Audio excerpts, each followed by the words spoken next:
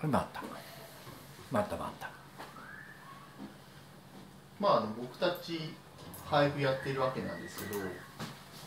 あの俳句やってる場合に絶対に死ぬっていうのを考えればいつか俳句やめるわけじゃないですか。うん。それが生前にやめる場合もあるしもちろん続けてって死んじゃうっていう場合もあるけど自分が俳句やめるとしたらどういうやめ方やめ方っていうか俳句自分の俳句が終わるとしたらどういう終わり方になると思います？ああいや終わり終わり方ですか？終わり方っていうか要は自分で筆を立つっていうやり方もあるじゃない、はい。例えばあの、えー、と飯田龍太とか有名ですけど晩年はやっぱり発表せずに生きてるけど俳句に立ってるっていうあ生き方もあるじゃないですか。そういうのもあるし、まあ、宇佐美玉木さんとかも多分そうで、あなんかでも書けるうちは書いちゃう気がするんですよね、うん、なんかすっぱりやめるって言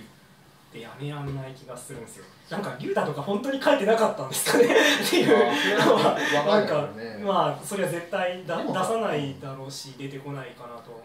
けれどもなんかそんなことは思ったりでもさ龍太書い裏で裏でっていうかさ、はい三度で書いてるかもしれないけど発表しないっていう意思意思は取れるじゃないですか、はい。それでかやっぱ作家だから書いちゃうのは書いちゃうだろうけど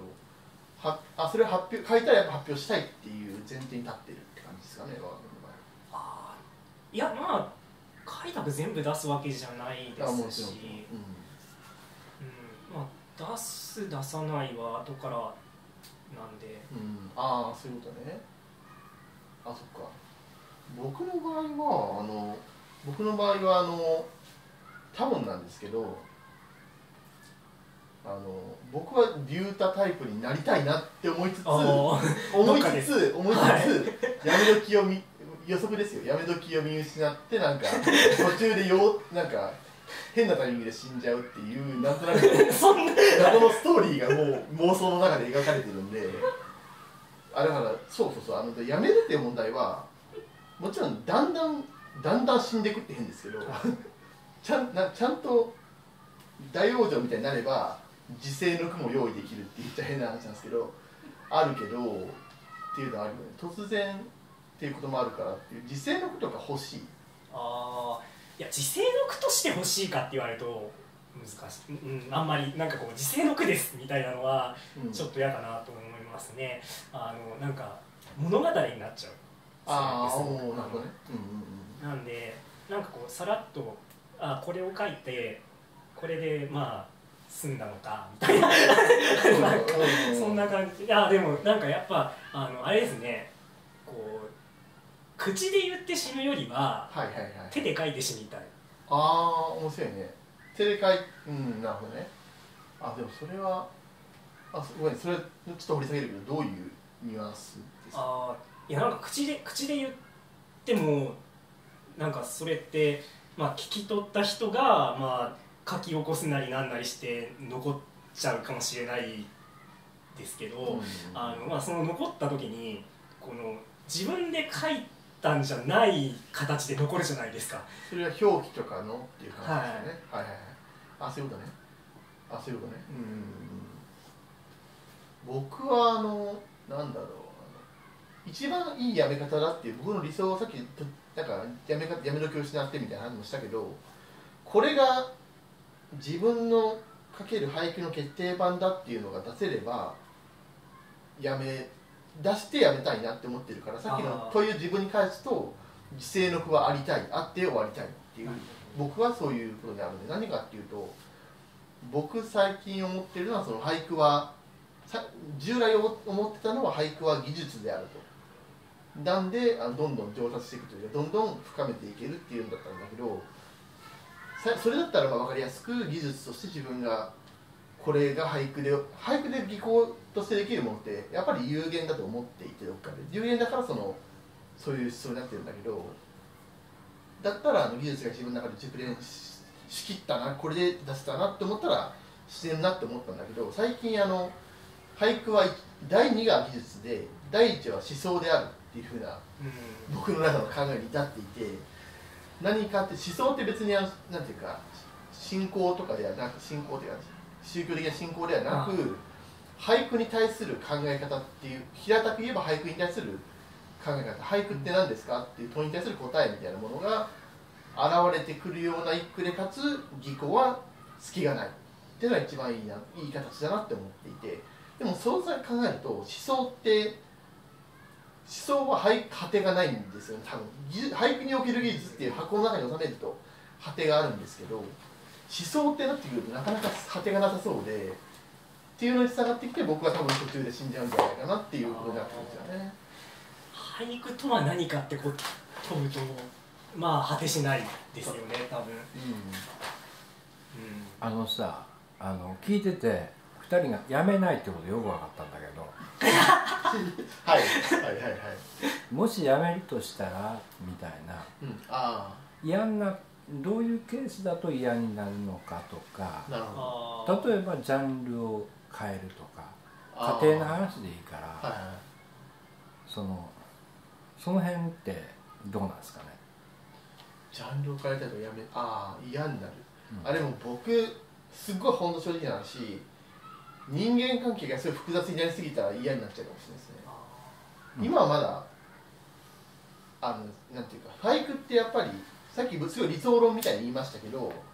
絶対人間が読んで書いて人間が読むものなんで人間関係が絶対発生するんですよね。そこで複雑になりすぎて自分の手に負えないなって思ったらちょっとつ違うジャンルに行っちゃう可能性はあります。それはありますね僕の場合。福田君は？まあ、発表云々の話でいくと、まあ、そういうことはあり得るなと。ただまあ書いちゃうんで 多分その俳句側のマイナスな理由で書くことをやめるってことはなさそう。ですね。じゃあななんだからもっと他に書きたいものが見つかっちゃうとはいはいはい。ただまあ書き書きたいものというか、うん。書きたいものっていうよりは自分の書く書き方がこの形式なんだっていうなんかこう確信みたいなのが他に出てきちゃったらやめるかもしれない。ですね。うん。どそうだね。僕例えばだけど短歌をあの週刊俳句のあのオルガン特集、えーオルガンなんだっけオルガン丸ごとプロデュース号。号で俳句以外っていう題与えられた時に短歌をはい。書いてみようと思って書いたんですけど、うん、結論から言うとまだ僕は短歌に行くわけじゃないなとは思いましたね。俳句やめてよし短歌に行こうっていうふうには今のところならないのはなぜかっていうのはあんまないんですけど論理的なというかあんまないんですけどあの単純に僕がまだ俳句好きだな俳句という形式まだ愛せるなって思ったんで短歌は遊びじゃないですけどあの作ってみたっていうのにとどまってますね。うん。詩もありだけど詩はどうなんだろうな。ちょっと話が発散しちゃうけど。あいやなんかそそれ僕も実はあのあ俺が丸ごとプロデュース号はた短歌を古い短歌をを持ってきたんですよね、うん。短歌鍵かっこつきみたいなやつなんですけどあのいやなんかやっぱ見返すとこれは俳句なんじゃないのってなっちゃうみたいなところがあってなんか人のを読む時もたまにそうなるんですよ。はい。はいあの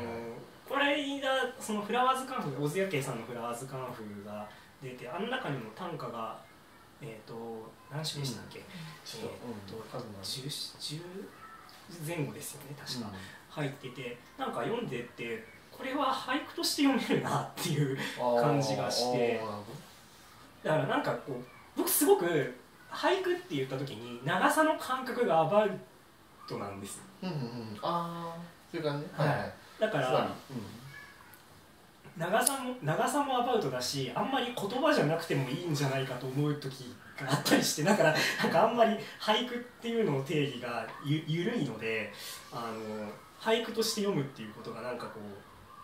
あってで特にだからあれは句集として一応出てるんでなんかその文脈の中であれを読むとなんか俳句として読むみたいなことがあったりする。だからあのそういう意味でなかなか他の他のジャンルっていうことが考えづらいなって。他書いても俳句になってしまう可能性があるってことかな。まあ、僕の中での話ですけど、まあねまあもちろんもちろん個人的な、うん。で生駒君は人間関係で生駒君の注意の人はちょっとそれを注意してあげないとダメですね。生駒君がやめなくて済むように。